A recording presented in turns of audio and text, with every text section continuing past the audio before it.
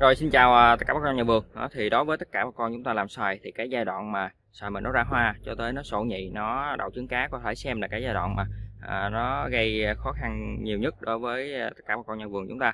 Thì à, ở cái giai đoạn xoài mình nó ra hoa như thế này thì nó sẽ rất dễ bị các cái đối tượng bên ngoài nó tấn công, ví dụ như là sâu rầy và đặc biệt là cái cái bệnh tháng thư nó gây nó gây hại cái bông xoài của mình.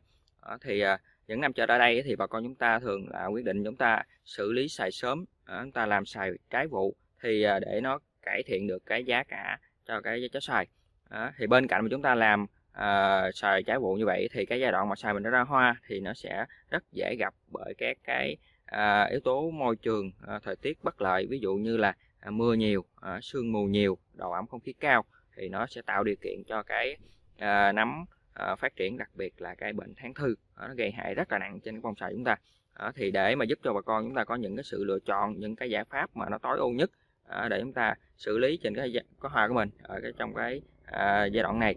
À, thì à, xin mời tất cả bà con hãy xem hết cái video này.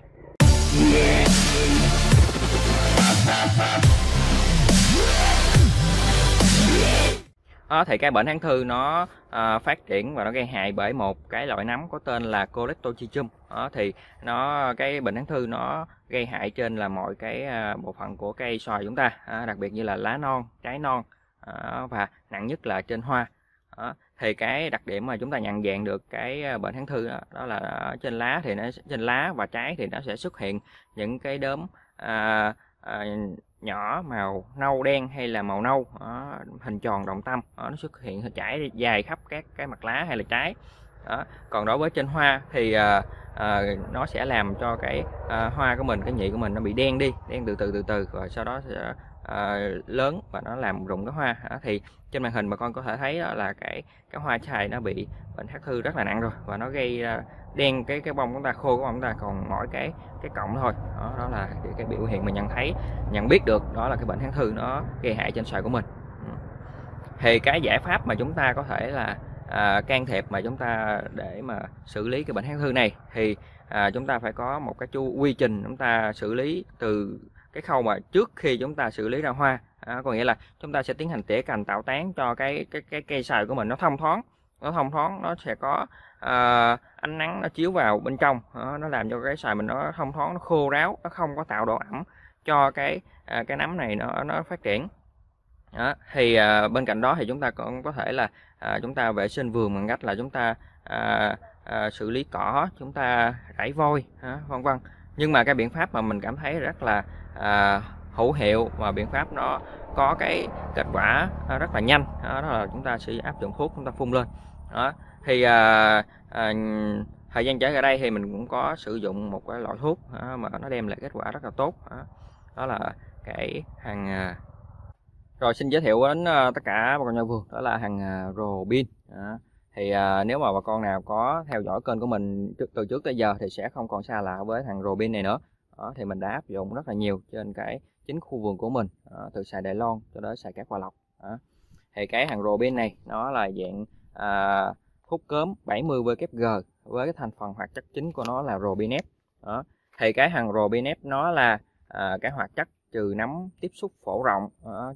nó có tính phổ rộng trừ à, rất nhiều loại nấm bệnh trên cây trồng và đặc biệt là cái bệnh tháng thư thì à, cái hàng Robinep nó à, có cái cơ chế hoạt động là nó tác động trực tiếp lên cái à, à, sự tổng hợp protein của loại nấm. Nó gây à, ức chế nó gây à, chậm quá trình phân chia tế bào và nó làm cho cái nấm nó à, nó yếu đi và từ từ nó sẽ chết đó. Nó cơ chế tác động của Robinet thì à, hàng robinep này à, ngoài cái khả năng trừ nấm ra thì nó à, có cái à, vi lượng kẽm trong đây rất là nhiều. Đó. cái hàng vi lượng kẽm thì nó giúp cho cái à, bộ lá của mình được xanh mướt hơn khi mà mình phun hàng hàng, à, hàng, hàng robinep hàng, hàng robin này. Thì nó giúp cây ngoài trị bệnh thì nó giúp cây mình có bộ lá xanh mướt hơn. Đó. Thì à, với cái dây chuyền à, công nghệ sản xuất tiên tiến dạng thuốc VKG thì cái hàng V hàng hàng ép này. Nó à, có cái khả năng hòa tan với nước rất là tốt. Nó cái hạt thuốc nó cực kỳ nhỏ nó có thể thấm sâu vào bên trong mô của à, cây. Khi mà chúng ta phun lên mà gặp thời tiết bất lợi như là à, chúng ta phun lên mà nó gặp mưa thì nó cũng sẽ hạn chế cái sự rửa trôi mà thuốc của chúng ta khi chúng ta phun lên. Đó, thì nó sẽ đảm bảo về cái mặt mà quản lý nấm bền. Cho cây đó. thì à, cái hàng Robinep này nó cũng rất là dễ phối trộn với tất cả các dòng thuốc khác. Đó. thì để mà đảm bảo cái cái công là phun sạch thì thường bà con hay à, gom tất cả các loại thuốc như là sâu bệnh dưỡng vào chung một cử xịt thì nó rất nhiều loại thuốc. Đó, mà khi mà đã dễ phối trộn như vậy á, thì à, à, bà con chúng ta thì cũng an tâm hơn trong cái vấn đề mà chúng ta phối trộn. À, rất là dễ để phối trộn. Ừ.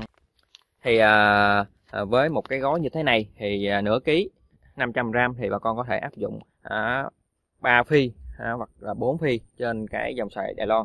Và có thể là áp dụng là à, 2 phi đến 3 phi cho dòng xoài cát à, thì cái khả năng quản lý bệnh cũng rất là hiệu quả. Đấy. thì về cái chi phí á, thì mình cảm thấy là cái hàng Robin này giá nó cũng rất là tốt nó rất là cạnh tranh trên thị trường hiện nay. À, mà bà con có thể là áp dụng. À, thì mình sẵn những sản phẩm nào mà mình giới thiệu với cả bà con thì thứ nhất là nó phải đảm bảo tính hiệu quả cái thứ nhất cái thứ hai là nó phải đảm bảo về mặt chi phí nữa thì mình mới giới thiệu tất cả con con để có thể áp dụng đó.